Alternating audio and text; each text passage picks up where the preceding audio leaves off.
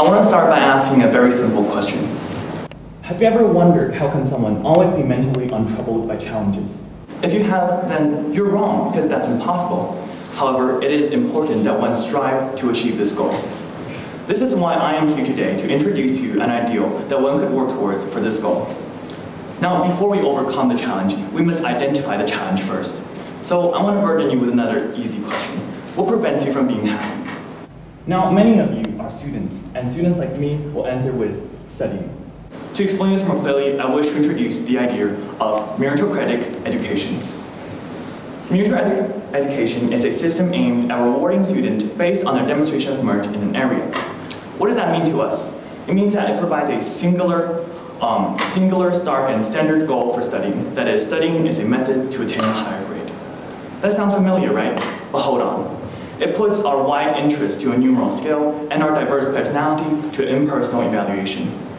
It forces us to make the choice between doing what we enjoy and doing what will bring us the highest grades and put us under the influence of guilt or anxiety.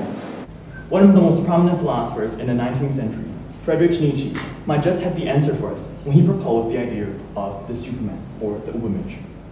Now, when we first think of the word a Superman, we picture a strong, muscular figure, perhaps with a red underwear, stopping trains single-handedly and bending iron bars like twisting twigs. Indeed, a traditional Superman in this sense is someone who is physically powerful, healthy, and strong. Nietzsche's Übermensch, however, is a mental version of the traditional Superman, namely someone who is mentally healthy, strong, and powerful. Nietzsche exclusively wrote on this theory, or this vision perhaps, in metaphoric quotes, and he rather elucidates details. There are two paths, however, that might reveal to us the idea of the Übermensch. The first is from understanding the opposite of the Übermensch, or the last man. And the second is from understanding Nietzsche's metaphors and quotes used to describe the Übermensch. Now, before we continue, I want to warn you of something, that the idea of the Übermensch was understood very differently throughout history. Saw it as someone who organized the chaos within. Kaufmann saw it as someone who creates his own values. Jung saw it as someone who represents a new God. Heidegger saw it as someone who surpasses himself, and the Nazis saw it as someone who represents their master race. Or some are completely misinterpreted, misinterpretations of Nietzsche, others are only an aspect of what the Übermensch actually is, and that is why we'll base our discussion from here, on the original quotes from Nietzsche.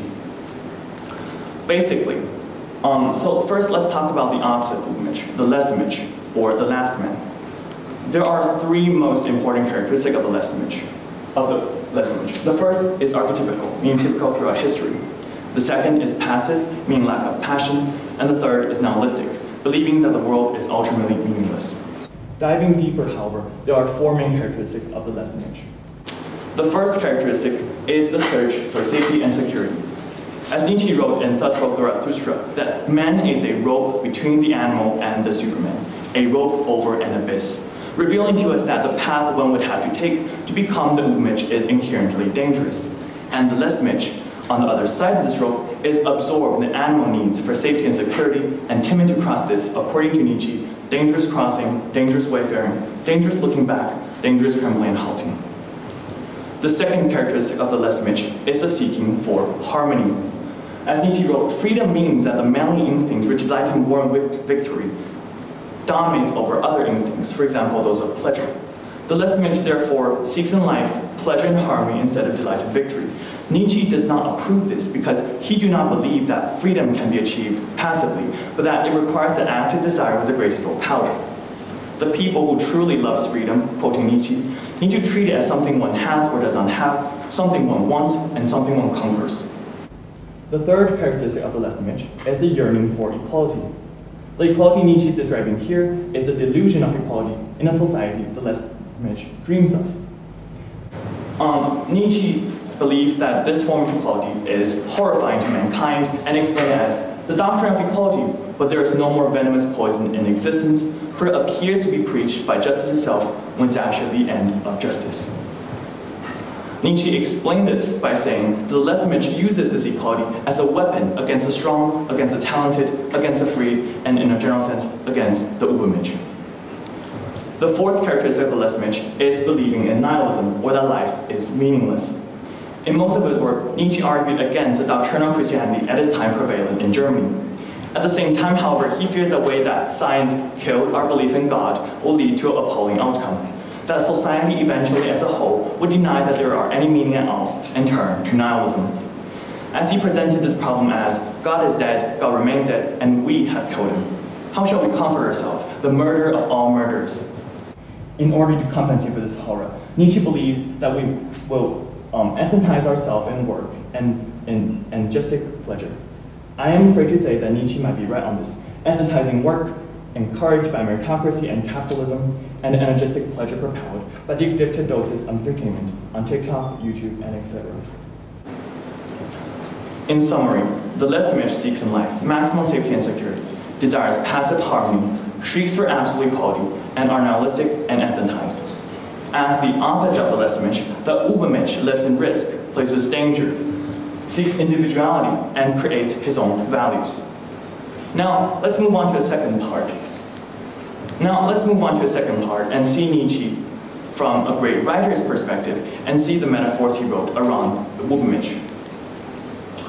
Firstly, in Nietzsche's biography, Ecce Homo, he introduces to us the concept of the Übermensch and how it originated.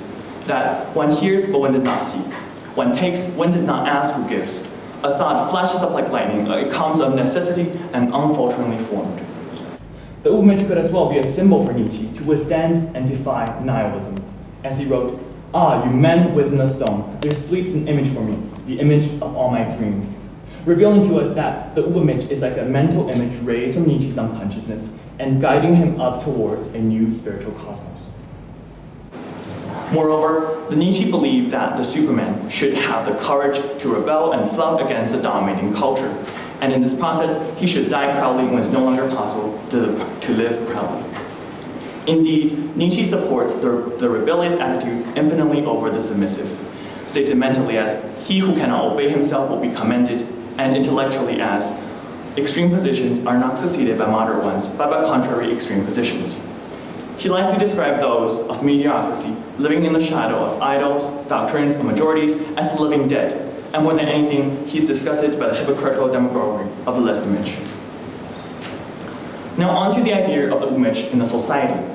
Nietzsche recognizes that the image will be envied and hated by the image, explaining that the higher we soar, the smaller we appear in those who cannot fly.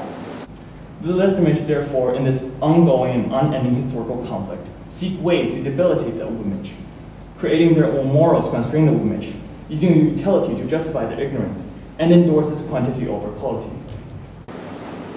Most importantly, the Übermensch is an architect of values. He lives as the amor fati, a Latin phrase for love for one's fate, loving his fate completely and wholeheartedly.